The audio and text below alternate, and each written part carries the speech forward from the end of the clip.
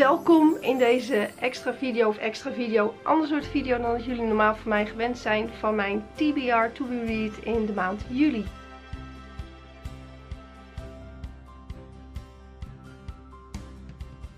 Beetje later dan gepland, week lang bijna geen stem gehad. Hij is nog niet helemaal terug, maar toch wil ik graag met jullie delen wat ik in de maand juli allemaal ga lezen. Ik heb een leuke stapel verzameld, ik pak hem er even bij. Oh, hij is zo groot dat ik hem bijna niet um, kan pakken. Maar ja, dit um, ben ik van plan om in de maand juli te gaan lezen. Het is inmiddels 10 juli. Dus ja, ik ben al 10 dagen in juli.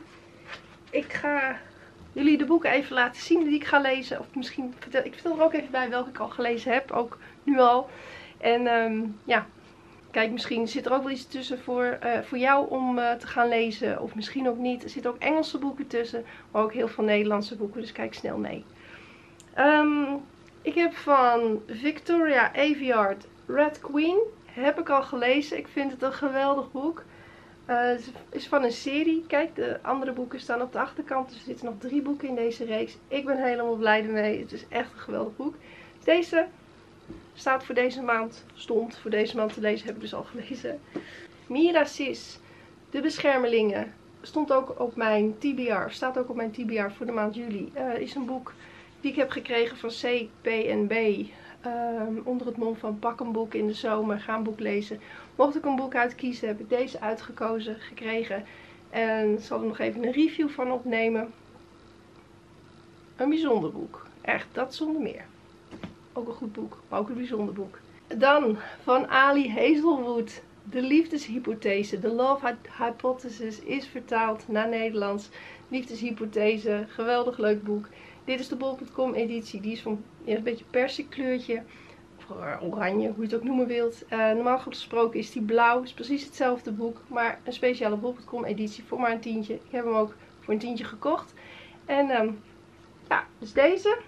Dan daar ben ik dus nu mee bezig. Uh, de reeks van Touching Juliet, zo heet dat. Er zijn een heleboel boeken, ik geloof wel een stuk of zeven boeken. Zes, zeven.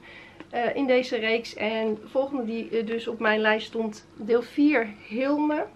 Gaat het verhaal verder van Juliet, Adam en Warner. Dus ik ben heel benieuwd hoe dat verder gaat. Na Hilme komt Weerstanen. Staat er dan zo op. Lees ik hierna. Dan heb ik weer zo'n dubbelboekje.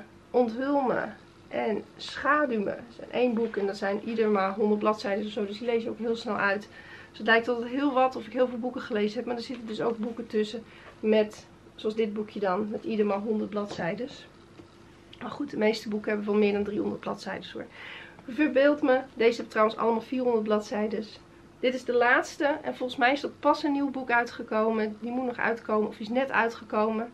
13 juli komt hij uit, ik weet het niet zeker. Dus die die kan ik dan mooi in augustus gaan lezen. Um, dan gewoon voor de fun, voor losse lees. Ja, soms heb je gewoon een, een feel good nodig. Die had ik vorige maand ook op mijn TBR. Vond ik ook heel fijn. Van Suzanne Musquet heb ik Scones en Spotlights. Is een beetje in de trant van uh, Jacodine van der Velde. Um, macchiato en takkethee. Ik haal volgens mij de titels door elkaar. Maar goed, Jullie weten wel, als je de vorige video's hebt gezien, welke ik bedoel van Jacqueline van der Velde, is dat mintgroene boekje. En ik heb ook een rozig boekje van gelezen. Daar lijkt dit een beetje op. Dus soms heb je gewoon een beetje een feel-good boek nodig. Soms heb je een boek met een beetje spice nodig, noemen ze dat. Er zitten best wel gedetailleerde uh, seksscènes zitten er dan in boeken beschreven. En dat is van Neon Gods. Het gaat dus over, uh, volgens mij... Uh, ik weet het niet. Ik laat me verrassen. Ik wil ook niet de achterkant lezen. Maar Neon Gods, ik heb gehoord dat een boek met spice is. Ik nou, die mag er ook niet aan ontbreken op deze, deze lijst. De rest is allemaal best wel braaf en zo. Deze is niet zo heel braaf. Dus ja, Neon Gods. En er moest ook een heel mooi boek bij zitten. En dat is die van de Nacht van Holly Black.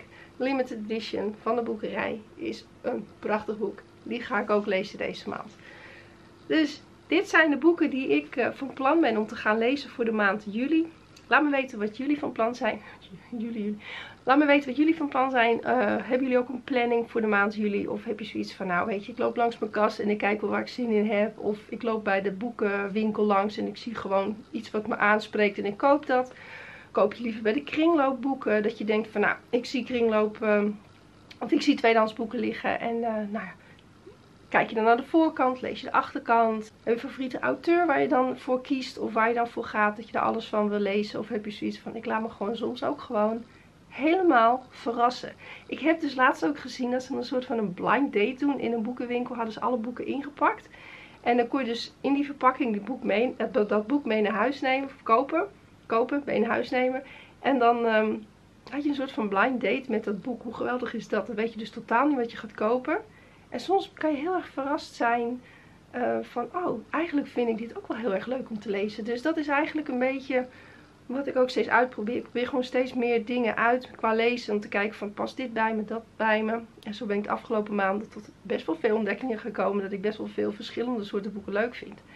En waar ik gewoon ook echt niet leuk vind. Dus, dit was mijn TBR. Laat me zeker weten wat jij de eh, voor deze maand gaat lezen. En uh, ik zie jullie snel weer in een nieuwe video.